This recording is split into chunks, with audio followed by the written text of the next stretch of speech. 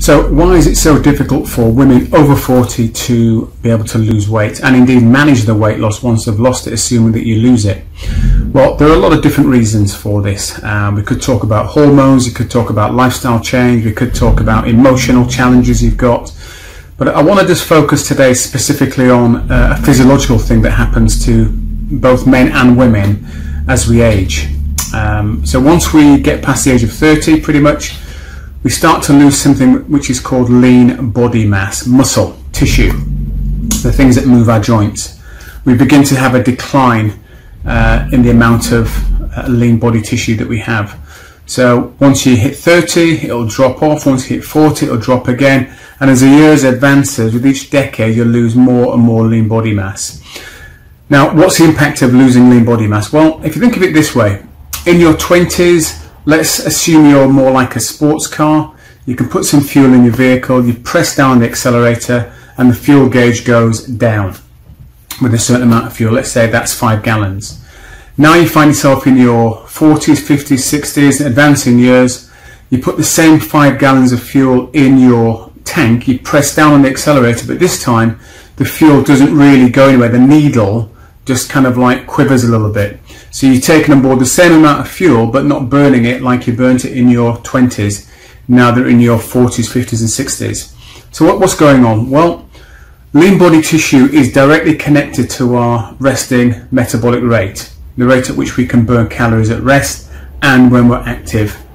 So one of the challenges that women have past the age of 40, which is a greater challenge than what men have, because men have more lean body tissue than women is their uh, diminishing ability to burn those calories off i.e. at rest and when they're exercising. But there is something we can do about this and I'm going to give you a couple of examples in a moment. Certainly I'll speak about them and show you a few things. But just something I want to uh, make clear to you and that is, you know, if you're living with a partner who happens to be a male and you're both trying to lose weight and they're having greater success than what you are, although you're eating similar portion sizes, although I suspect, you know, if it's a male-female relationship, your portion should be a little bit smaller, I suspect. Um, but men generally will lose weight far easier when you're both following a healthy eating plan, not because men are any better or trying any harder. Uh, it's just that we've got more lean body tissue and it's a little bit easier for us to lose the weight. So as a female, one of the things you can do to help with weight loss in terms of losing it and maintaining it long term is to introduce some form of resistance training into your exercise regime. Now, I know there's a big myth around weight training, and one of the things that surrounds it is the fact if I do weight training, I'll become big and muscular. And that really doesn't happen. You just haven't, you know, women just haven't got enough testosterone to get big and muscular.